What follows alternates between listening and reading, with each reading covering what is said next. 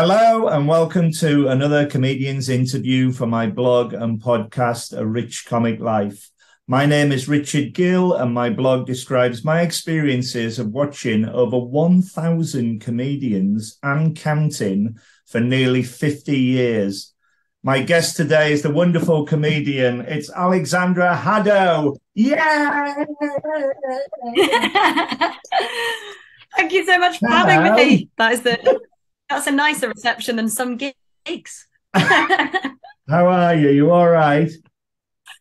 I'm good, thank you. Thanks so much for having me. I'm excited. It's lovely to see you, and thank you so much. Um, uh, the the interview is going to be about forty five minutes to an hour, and we're going to go right back to the start. And if you can, if you can tell me, please, how did you become a comedian in the first place? Um, I love telling this story actually. It was um it was through a friend of mine who was a comedian. He was a stand-up comedian. He's now a writer for a lot of TV shows. His name's James Farmer. He's brilliant. Um, and I was just just pals with him, yeah. We used to kind of, you know, bounce script ideas off each other, but I didn't work in comedy or anything like that. And he said, Oh, you should, you know, you should do stand-up. And I was like, absolutely not, you know, because I, I was such a huge stand-up fan that, you know, if when you're that in awe of something and you've Yeah. you know you've not got any background in it whatsoever. I mean i did like a bit of performing arts when i was a kid but i'm not from like a performance background you know? Um he said you should do it. And i was like oh my god you know I couldn't think of anything more nerve-wracking and stuff. And um he said well, I I tell you what why don't you write me five minutes of you know what you would say if you were going to do a gig? And i thought well that's quite a fun exercise you know. Um so i did that and then i gave it to him and he said this is great. Uh, and it's a good job that it is because I've booked you on to do a spot tomorrow night at the Cavendish Arms. Wow! yeah, so he Brilliant. tricked me. Yeah, um, he tricked, he tricked me. My friend tricked me into what's now my life's passion and job. Um, Brilliant. so yeah, so I, I did. I did my first gig, uh, and I didn't tell any anyone I was doing it. I didn't tell anyone apart from my best friend and James, obviously, because he was he was the one that sort of organised it, and they came with me. And I did it, and I had quite a good, you know, first for a first gig. It wasn't like a horror story at all. Um, it was amazing, you know.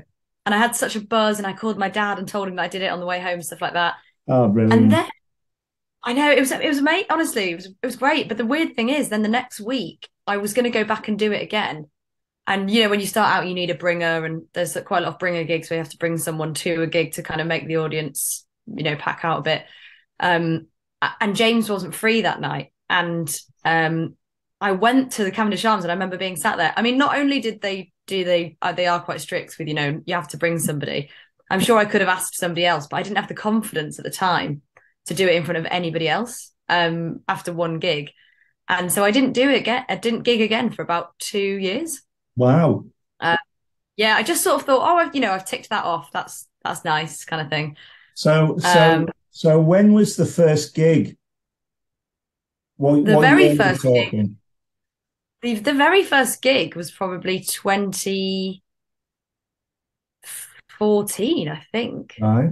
So, Uh, so, so it took you till 2016 to go again. Yeah, yeah, yeah, yeah. I think it was 20. Yeah, it must be 2014. I'm just trying to work it out now. Yeah, I think that was that's right. And I think I think I did one in those two years, you know, and then I went away. My my granddad passed away, and I got a like a Oh, couple of dear, grand basically. Um, it's fine. I mean, it's he was he was very old. Yeah. Um, and uh, I got a couple of grand. Uh, you know, when he passed away, and I thought, you know what, I'm going to go away on my own for like two months, and I did the sort of classic, sort of cliche. I've never had a chance to, you know, go traveling or anything like that, and I went away for two months, and I just realised that I was quite not bored in my job, but I knew that it wasn't, you know, what I wanted to do, and I kind of didn't really know what to do. And and by the end of it, I was like, you know what? And I met a really nice group of people out there. And I told them that I'd done a couple of stand-up gigs before, and they were like, You should do it, you know. And I I worked in this restaurant and they were always saying, you know, you should give it a go and stuff like that. So I came back and I just I remember writing in my diary, um, you know, like try and do three gigs a month. And Yeah. now, you know, I mean, I'm gigging later tonight. Like it's it's always, do you know what I mean? It's I gig three times in a night sometimes now. It's mad. That's brilliant. Um, that's, that's such yeah. a So Yeah, so then so then I came I came back, did a gig, and then just just from then on, like sort of just so I I still say I've only been going like five and a half years. Maybe it was 2017. I don't know, whichever one it was. But um, yeah. Yeah. So since then, I've just been yeah hammering it basically. Well, you get addicted, don't you? So I I know the Cavendish Arms very well. I used I used to know the resident compere Brendan O'Donoghue, who's been on. Oh yeah, yeah. Knowing really yeah. well. Very funny man.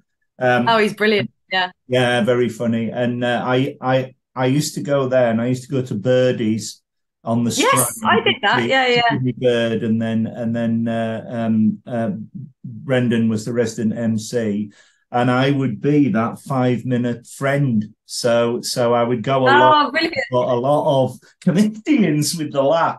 yeah. Oh, do you know what? Honestly, you're you're a lifesaver for for people starting out. You know, because it's so nice of people to give up their time to come along oh, with I us, especially when you're starting out. You know, um, yeah, the way you, you might not be necessarily uh, great, but it's um it's yeah, it's great. I loved I loved that. My friends were actually quite supportive when I started. I was I was always I was always okay for bringers, which was so nice of them, you know. That's great. And then I, I think the key is kind of befriend befriend someone that, that runs a bringer gig, so that you, sometimes you can get away with not bringing one. well, I I, uh, I it's very kind of you to say because that's a reason why the blog exists. I, I don't only support established acts, I support up and coming acts of as course, well. Yeah. Having having seen so many over the years, I've become very astute at um, what I believe is a very good lineup of comedy acts. So so if you yeah. wanted to go to the comedy store, or something like that, I I believe I could pick a very oh, good oh, list because I've seen so many of them. But but some of the up and coming ones, one of the one of the other great things about the blog is watching the comedians develop. Um, yeah. I, I first saw Harry Hill, for example, 30 years ago, just as he was starting no downstairs at the King's Head, and he's just one example of many. And uh, he he ran onto the stage. He was late for the show. He brushed yeah. me, stood up onto the stage, and went, "Ladies and gentlemen, I'm really sorry I'm late. I had to have a testicle brought down. And that got a laugh. And then he said, from Derby.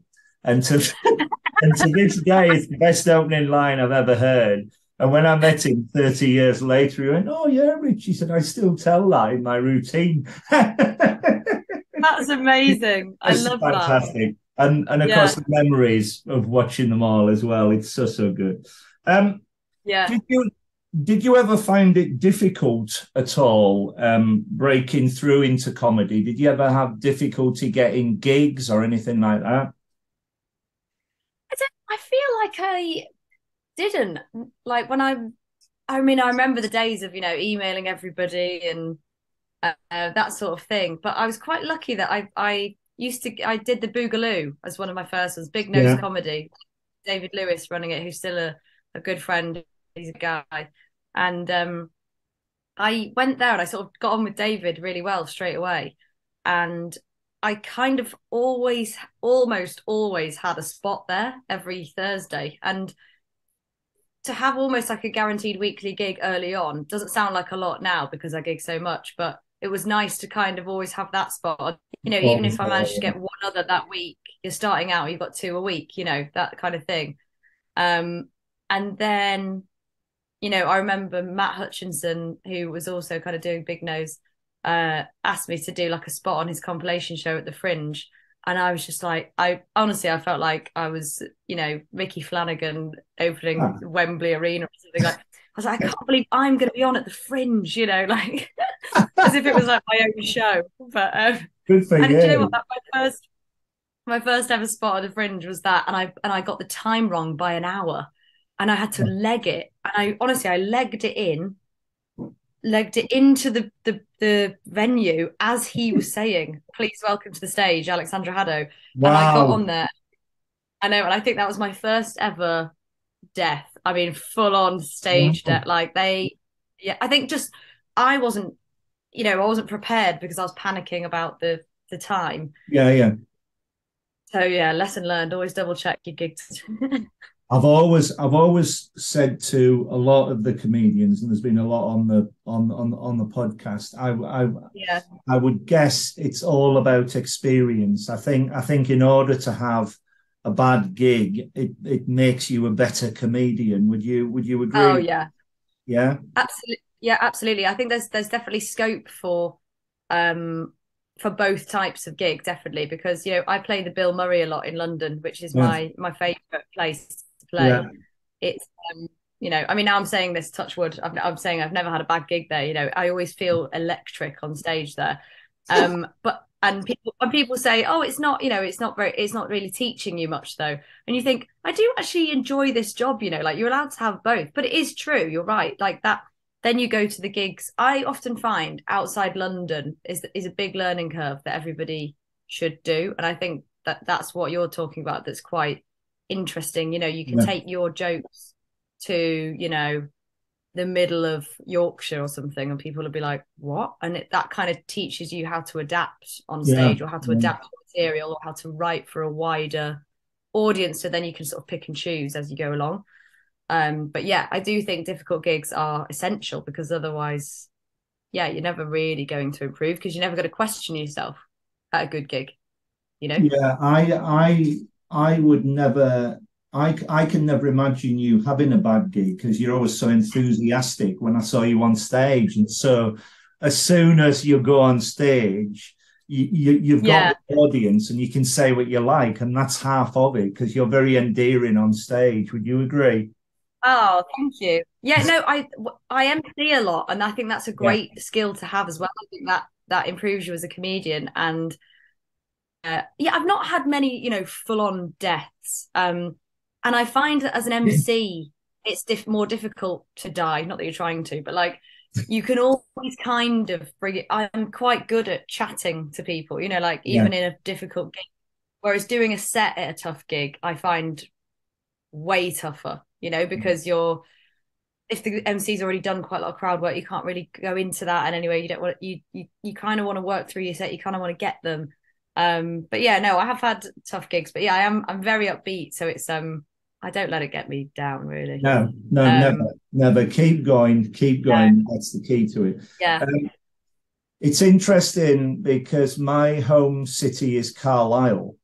Uh, oh right, I, yeah. But but I've been working, living and working in London for half my life, thirty years. But yeah. I go I go back to Carlisle. I've still got uh, lots of friends up there, and certainly over the years, um, uh, the comedy scene in Carlisle has grown.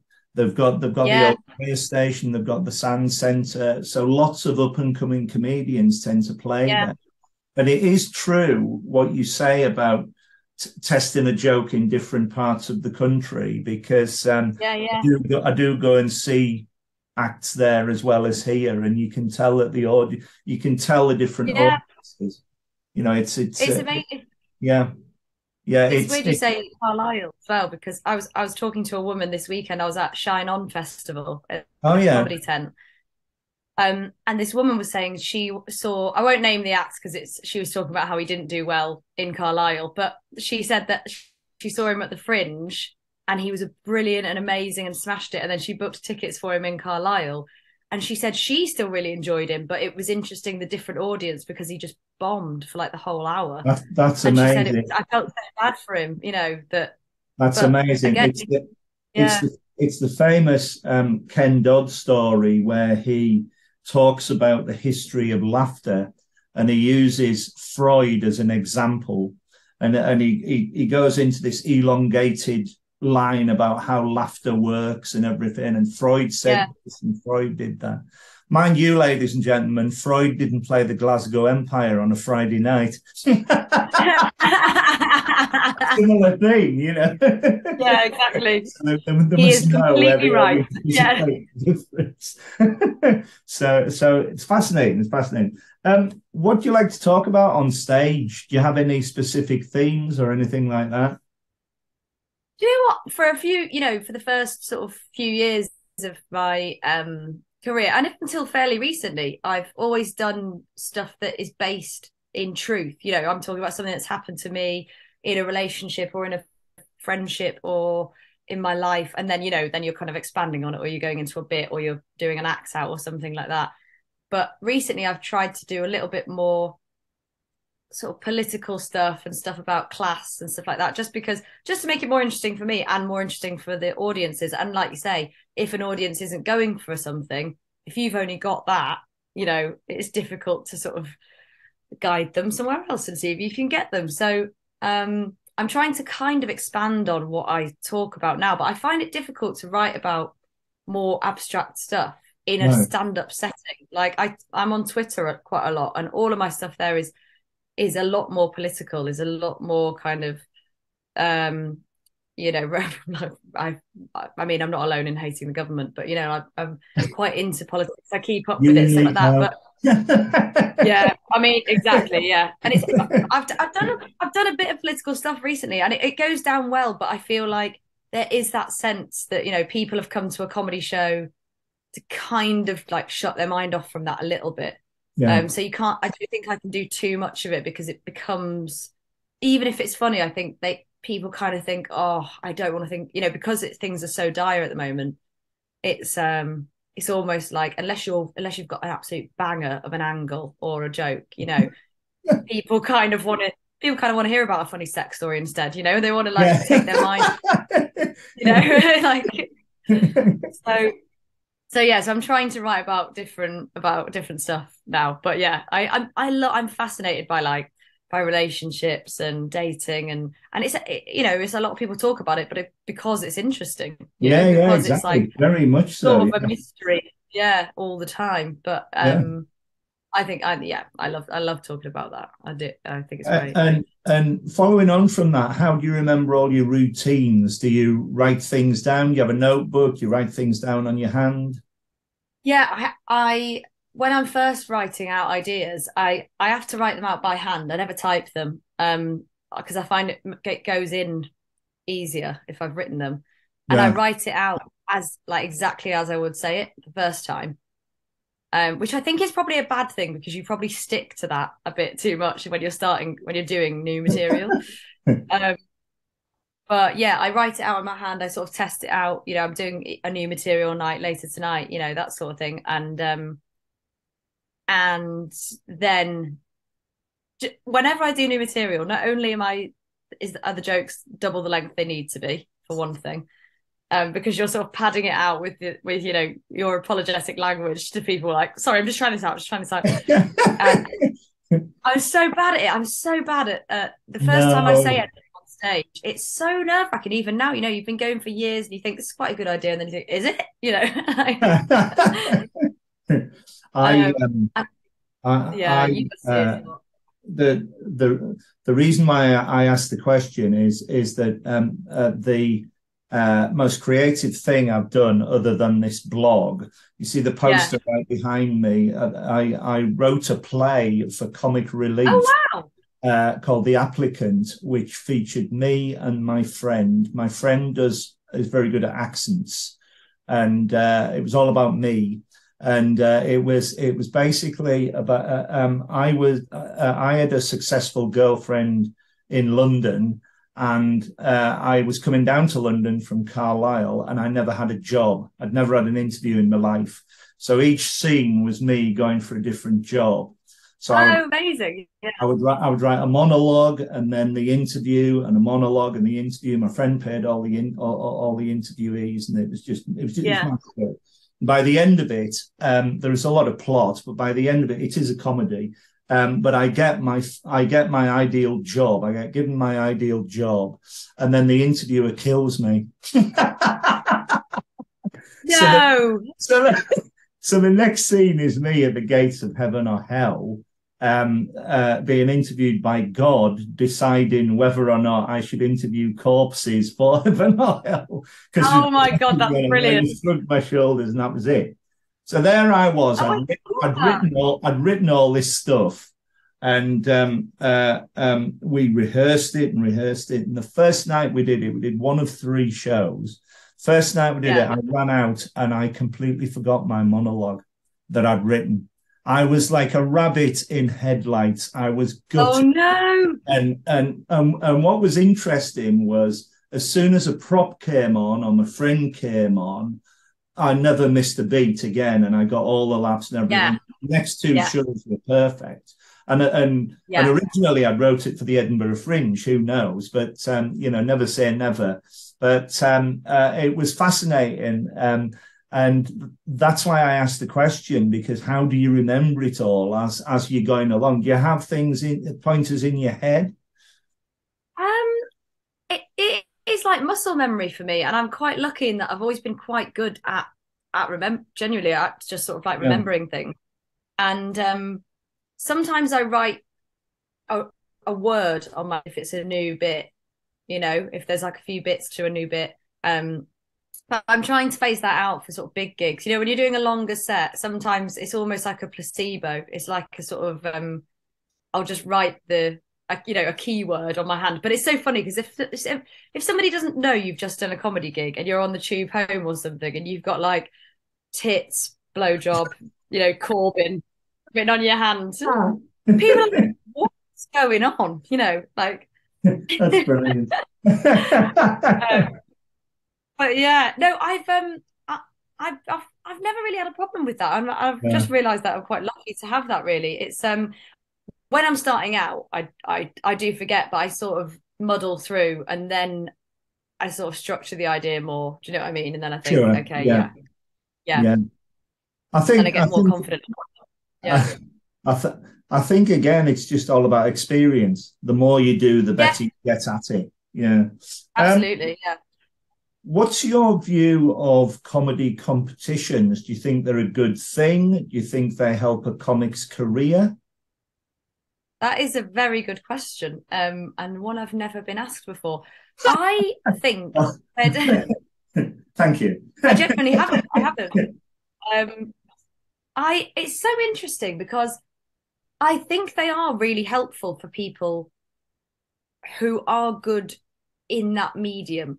yeah. Um, I think there's absolutely a place for them because I think sometimes if you're, you know, if you don't live in London and you can't gig all the time, or a, you know, or a big city, it can sometimes sort of get you on people's radar quicker than it would do, you know, if you're emailing for spots all the time or if you're trying to break into something. And I think it's definitely it's it's great for that. I've always been rubbish at them, at terrible. Um, I was going to say, have you done many of them? yeah. Mm. I did. Um, I I've done. I did Leicester Square new act a few, two times or three times, um, and I got through to like the next round once. Uh, and I did Funny Women one year and got through to the next round and then out. Uh, and I think Well done. that's it.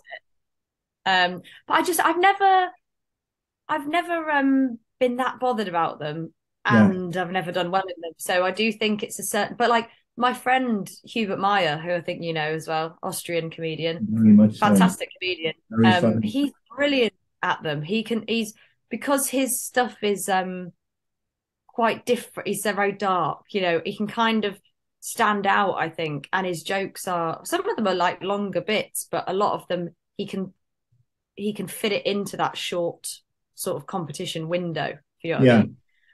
Um, whereas I was always because um I've always mine's sort of more storytelling. I was always so nervous about the time in a co- in a competition that I don't think I was ever as relaxed as I was in a normal gig. So it's sort of catch twenty two, and then I never really got through. And and it was just yeah, but he's he's brilliant. You know, I know people that they can seemingly sort of not really put a foot wrong. You know, with competitions, and I just I never did, but. Um, my housemate Rich Spalding, actually, he um another great comedian. I don't know if you know him. He is, yeah, yeah, very much so. Yeah. Yeah. and he um he just you know got the the uh, the critics award in the final of the you know the Beat the Frog World Series. Yeah, yeah, yeah, yeah, yeah. I read that. So, you know. Well, well done, him. Yeah. And that's what I mean, and, and I think that's great because you know he's now got loads of paid spots in a club that perhaps he wouldn't have got booked in before. So I think it's Yeah. it's it's a good way to get yourself on people's radar and to kind of hone your timing. I think as well because it's so kind of constrained and it's quite quick. Yeah. Um, yeah, I think it's definitely a skill, but it's one that I do not possess. Um, do you suffer from any nerves before you go on stage, and how do you cope with them if you do? Um, I do sometimes. It depends on the gig. Yeah. And it's not always necessarily the size of the gig either. It's quite weird. It's I think it's if it's a gig where I'm on with, you know, a lot bigger acts, I get I get nervous or um if the crowd seems not even intimidating because I sort of see that as a challenge, but like sometimes if a crowd seems difficult and you're worried that you you don't know how, you don't know how they're going to go for you, I get nervous or um like yesterday I was doing a massive gig at Shine On Festival and the room was huge. I mean, we got in there and we thought, Jesus, this is it was like an aircraft hangar, you know. and there was probably like yeah, it was mad. It was mental. I thought it was going to be like in a little pub. Um and there was like 1500 seats and I thought, "Oh Wow. god, you know, if only if only 200 people come to this, which is still a great number, it's going to look empty, you know." yeah, and actually there was like a thousand people in there by the time I went on and I was I was nervous for that because it's a situation where you don't know how it's going to go down you know it's a festival people aren't there for comedy necessarily but so many people were kind of it was day 3 of the festival they'd watched a lot of bands they wanted you know a bit of a bit of a change um and uh and it was great like I I don't generally as soon as I get the first laugh I'm not nervous anymore yeah. so and I I, always I try and say just- to myself, I yeah. was just, I was just going to say, um, do you agree that as soon as you speak into the microphone, the nerves go? Sort of actually, yeah. They they definitely they lessen as soon as you speak, and then as soon as I get the first laugh, I'm I'm absolutely fine. Yeah. Um, What's what's yeah, uh, so, what's what's infamous, and I've told a lot of comedians this story as well. Is um, I Yeah. I I once had a go at stand up comedy myself. Uh, um, yeah, uh, because because I remembered all the jokes that the comedians would tell would, would make me laugh. I thought I'll give this a go and and and see what it's like. And it, and and I, Yeah. I I was very nervous, and I and I went uh, to uh, I know a promoter who who years ago used who used to put on gong shows, and he had, Yeah. he had he had a gong show for old people, and uh, I wrote this script out about me being very accident prone in Carlisle driving cars, and he loved it. And he said, "Right," he said, "you've got three minutes." To go and entertain these people. It was a wet Monday afternoon. It couldn't be worse. And I oh walked god, out. I, I walked out. There's three people in the audience. I walked out, and the first thing I said was, um, "Good afternoon, everybody. People think I look like Eddie the Eagle Edwards, the ski jumper, but I can't see the resemblance myself." And of course, I'm this double. I don't know. yeah, yeah, yeah. One old bloke at the back just went, "Fuck off!" and going off.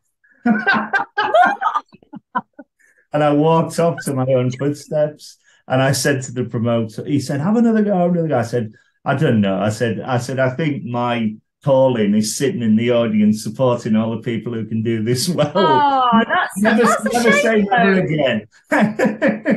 Yeah, but but the fuck nerve, that guy at the back of the the nerves, thank you. The the nerves were palpable that day, and and uh, I do feel sorry when you have to walk out, and Yeah, hopefully you're walking out to a round, a massive round of applause because people are there and want Yeah. to see you.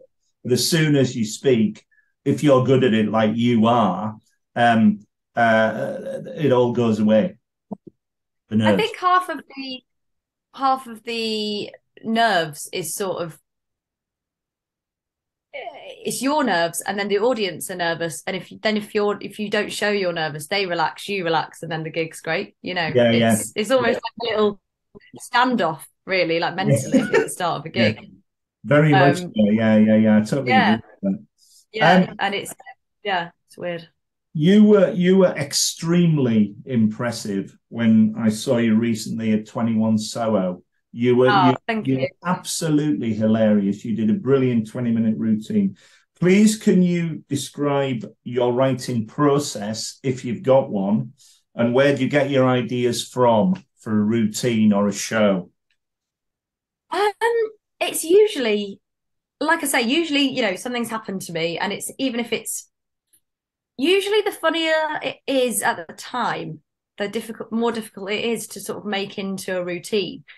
Um, but it's usually, you know, I'm retelling the story at, you know, at the pub or to my friends or something like that. And I'll, I will add things in as I'm telling it just because, you know, not to toot my own horn, but I mean, I'm a good storyteller, right? So I'm yeah.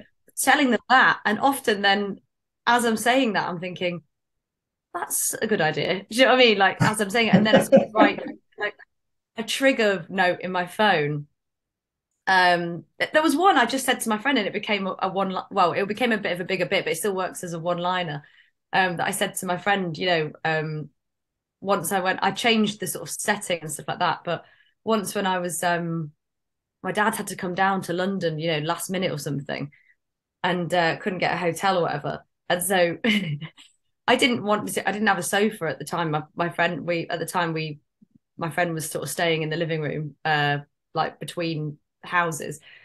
And so my dad was like, well, we'll just have to share a bed. And my mate was like, oh, that's a bit weird, isn't it? And I sort of was telling this. I was retelling this to my friend. And I went, what? So the insinuation is I'm going to sleep with my own dad if I share the bed, like as if that's what's been holding me back. Like, do you know what I mean? And then that's and then that became a whole bit because that is quite that is a thing. Yeah. You know, the people that it's, it's the absurdity. It's like thinking about what they actually mean, what they're actually insinuating by that. And it's like, of course, it's not ideal to be sharing a bed with my dad, you know, when I'm 30 something, but it's also under very specific circumstances where there wasn't, do you know what I mean? There wasn't yes, another option or whatever. Yeah, yeah, yeah. Yeah, exactly. And it's that's how that's how the idea came about. Yeah, exactly. And then I sort of wrote around that um, and sort of built up why it had to happen, and then put a few jokes in the in the build.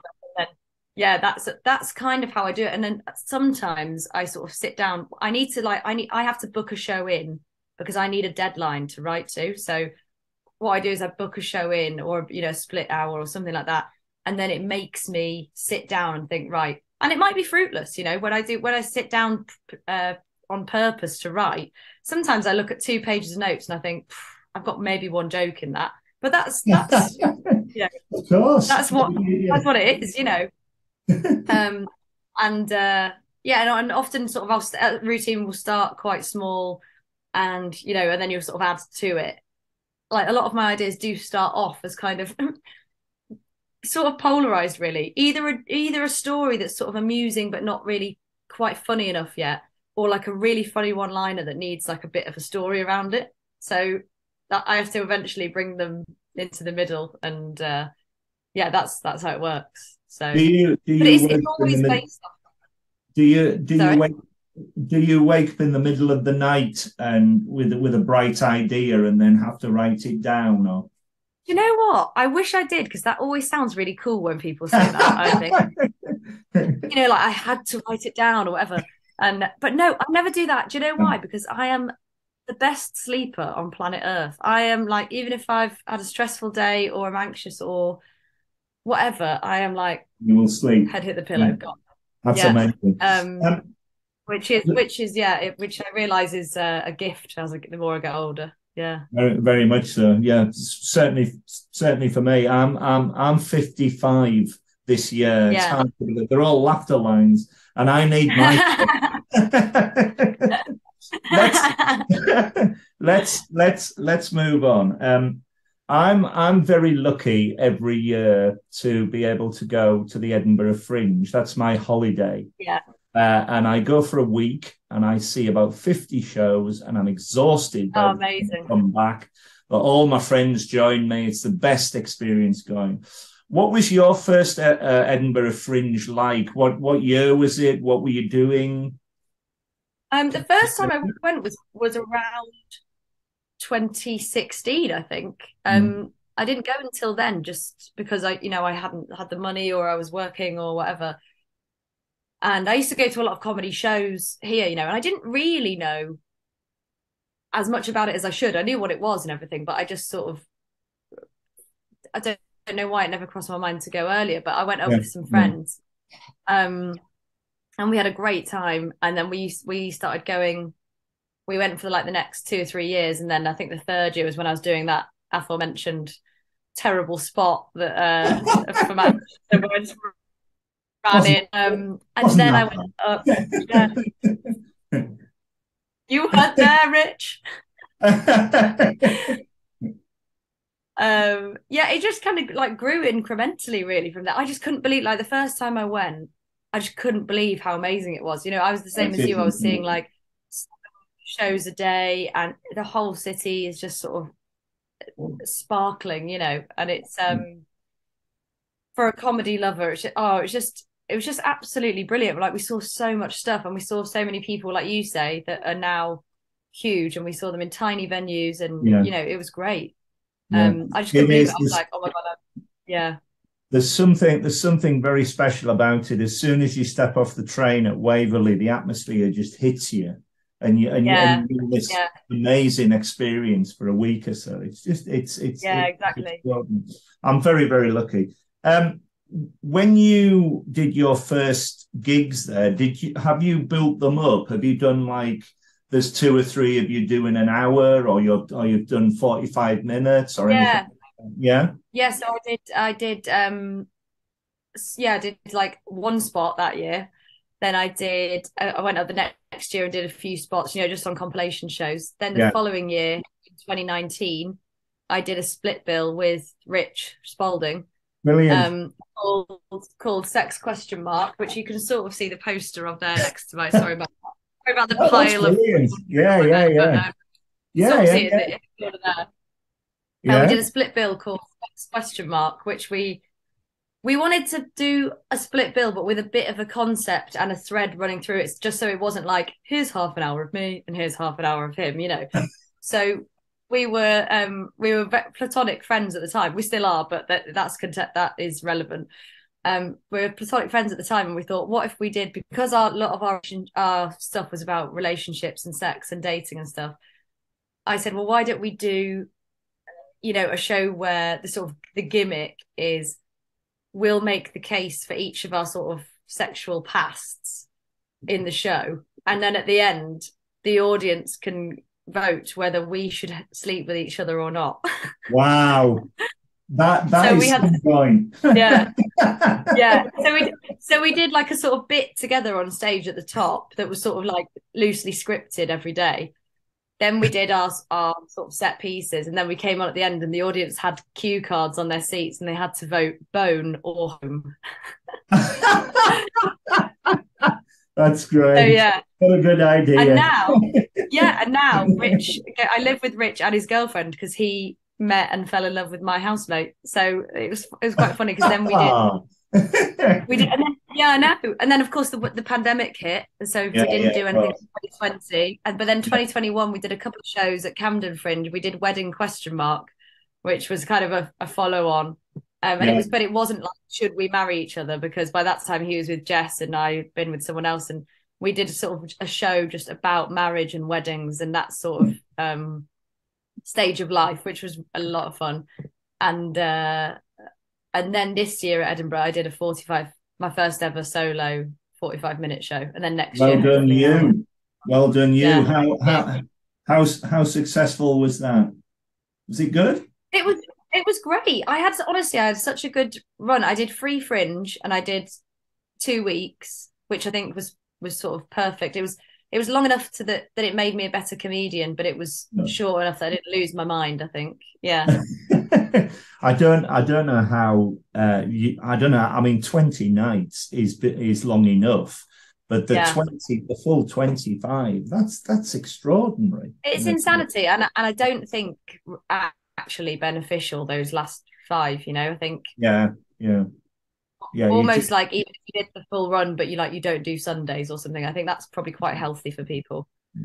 are you, um, are you are you going up again in 2023 I think I'm gonna do do my hour. Yeah, I've I've got an idea, and uh, not my Well, finest hour. I do it well- about all the bad things I've done in my life.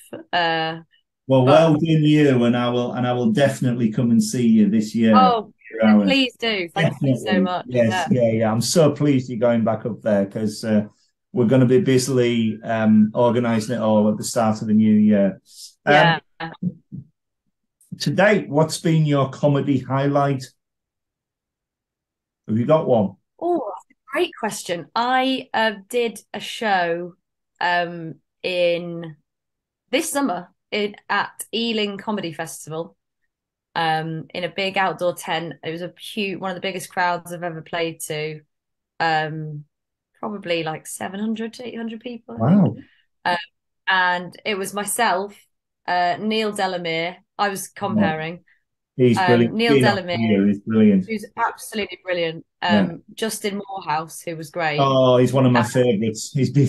I know. He's so good. He and such a lovely guy as well. Yeah, yeah, Um, he's yeah, he's one of the nicest people you could meet. Yeah. And the and the the headliner was my sort of comedy hero, um, Dylan Moran. Oh So, wow, what a bill! There's not a bad, I know. a on that bill, including you. Oh, thank honestly, Richard, I could not believe. Do you know what? And I and I snaked my way into that job. I tell you why. Wow. Um, I, I was doing headliners in uh, in Chiswick, yeah, and it Simon, who's motor, lovely Simon, um, Yeah. was. Uh, I was there, you know, and he was, and I was emceeing for him, and he was chatting away, and he said, "Oh, we've just to his friend." And I and he said, "Oh, we've just got Dylan Moran for the Ealing Comedy Festival," and I went, oh, "What? Oh my god, really?" And, and you know, interjecting basically. And he said, "Yeah, yeah," and I said, "Oh my god, he's my absolute favorite."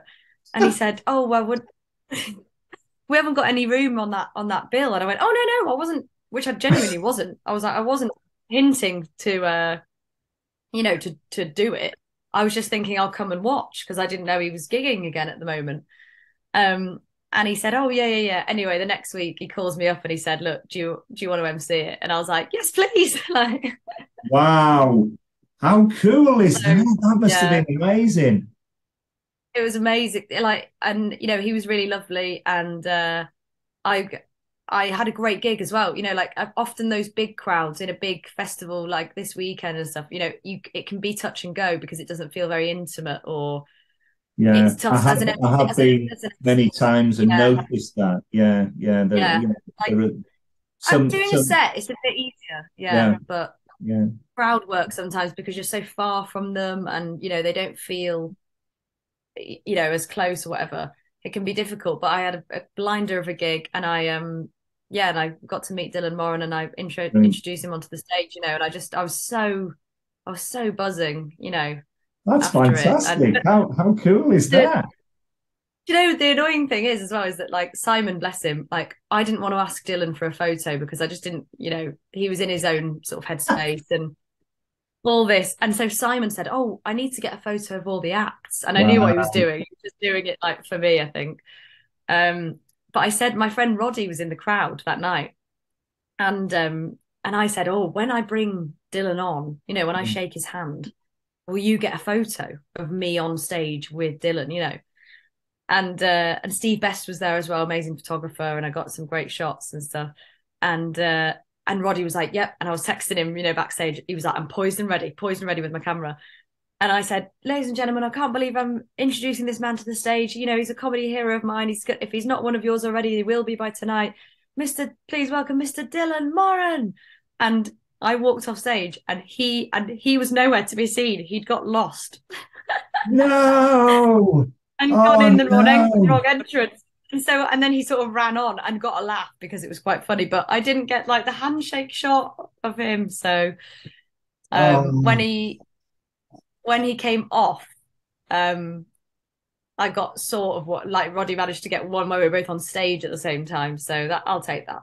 That'll that'll that's enough for me. it it it, Um, it it reminds me of the Ealing comedy story. Um, uh, I I was probably the last person to interview on this blog uh, on this podcast Barry Cryer, and he was just the nicest oh, amazing! person, the nicest person, and he was emceeing the Ealing Comedy Festival a couple of years ago, and headlining headlining on the night was Alan Davies, and he Yeah. and he and he accidentally introduced him to close the first half instead of the second half.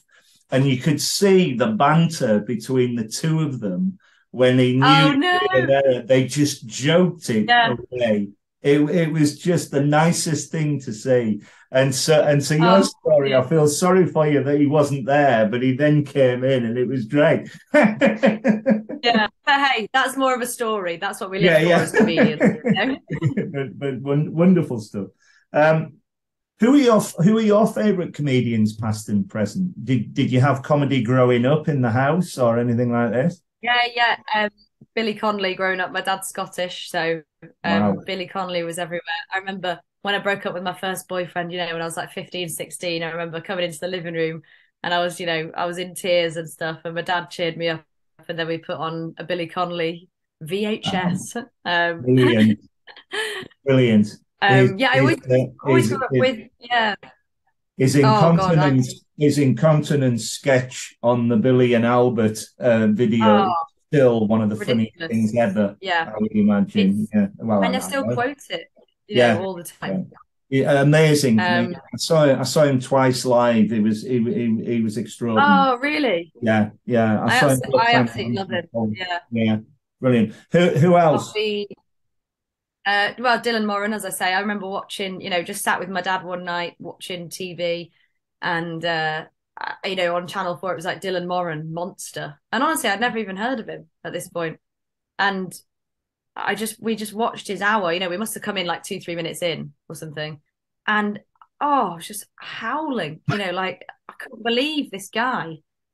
He was just he absolutely is so good. What's what what I think's brilliant about him is that he can take a word or a line or a sentence and just run with it. Um, yeah. And, and yeah. you are crying with he's just creating comedy as he's going along. And Ross yeah. Noble's another one who can do that so well. Billy Connolly, yeah, yeah, yeah. and and if you've got that art, it's extraordinary. It really is. It's so good. It's such a such a good choice. Have you got, yeah. have you got any more?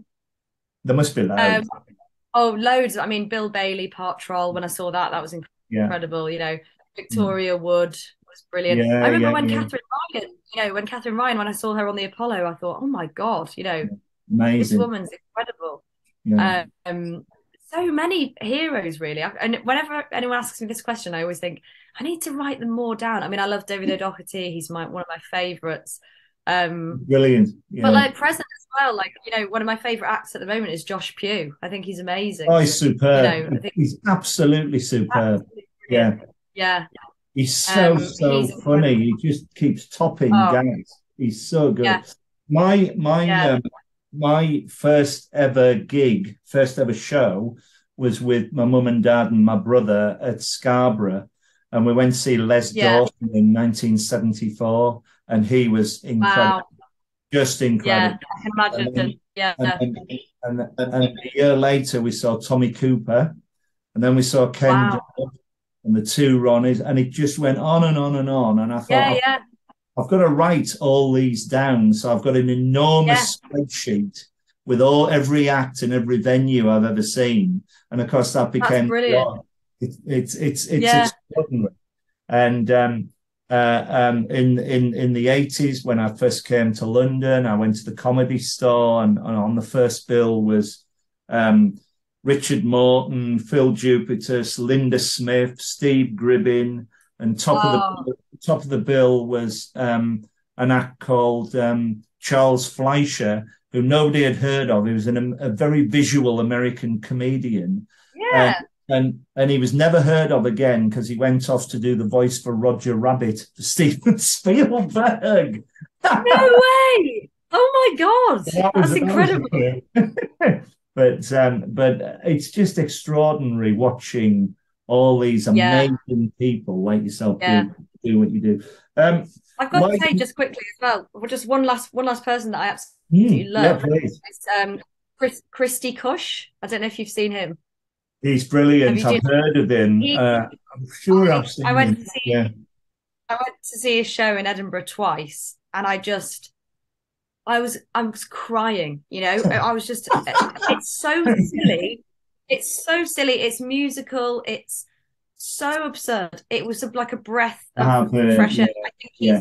and I don't think he gets the the success he deserves. And that's not, you know, that sounds like like a dig. It don't, I don't mean that at all. I just I want everybody to experience his Mm-hmm. show because it just oh it, if you get a chance to go and see it, it's a solo show. I will Definitely do. go. Definitely. It's I'll, I'll. I'll, I'll, I'll make a note of that after this recording. Yeah. Definitely. Um, like me, do you go to a lot of comedy shows as a member of the audience? I do when I can, but the, you know the paradox is that you're always gigging as a as a Yeah. comedian. Um, but I do I do really try and make time for the ones that I want to see. You know, especially kind of either like really top top billing people or you know friends and people that I've wanted to see at Edinburgh. I go and see you know so I go to Soho Theatre whenever I can. A lot on Tuesdays when it's sort of like my day off. Yeah. Um, and uh, you know, I went to see Frank Skinner do a work in progress recently, and that was great. And I saw Dylan Moran do a work in progress. And yeah, often I feel like say I feel like, oh, I've got, you know, Tuesday's my night off, and that's the night that often I'm like, oh, so and so's on at Soho Theatre, I'll go and see that, you know.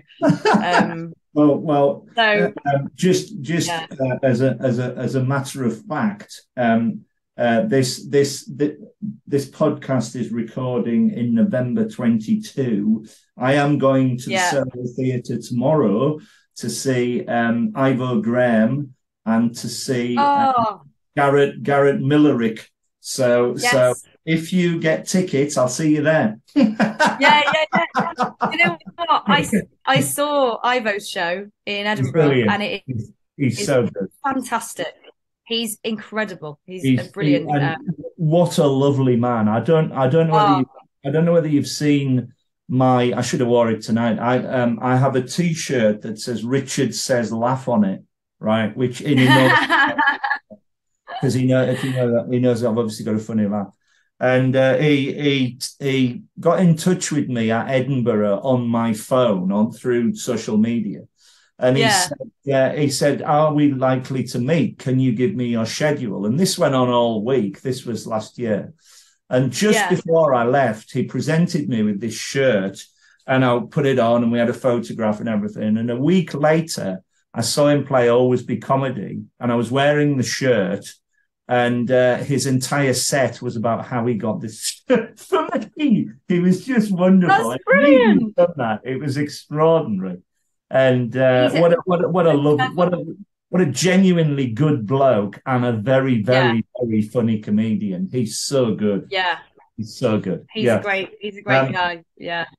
Would you, um, if you were on a bill of comedians, would you stay and watch them all if you were on first? Yeah, I often do. Yeah. Yeah. Um, unless I have to go somewhere, or you know, sometimes it's just circumstantial where, you know, perhaps you've been gigging for ten nights in a row or something, and you, Yeah. You know, you say you sometimes you want to go on first and then just go for dinner with your pal or something just to relax a bit. But Yeah. but no, generally I'll always I'll always watch people. Yeah. Um, That's great. because yeah, because I love you know I love comedy. So You and me Um, both. Um, yeah. How how have you found online gigs? Have you done many of them as opposed to live gigs? And what do you think the future of comedy is?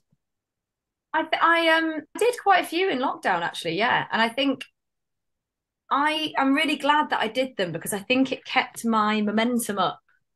Um and when I sort of just basically hit the ground running as soon as lockdown was lifted, you know. Um I think it's it's not I don't think it's a good medium for comedy, um for stand-up comedy. Um I had a few people that did a gig did gigs with me where they did which they don't do on stage. They almost did like a character for the Zoom, which I think works really well. Um, because it's more of a set piece. Uh, I think comedy's too reliant on like being there in person and um the atmosphere and the the connection between, you know, the audience and the and the comedian. However, what I will say is I do I host a gig every month for Dulwich Hamlet Football Club um, which is fantastic. In fact, Ivo Graham's headlining the December one, which is always all for charity.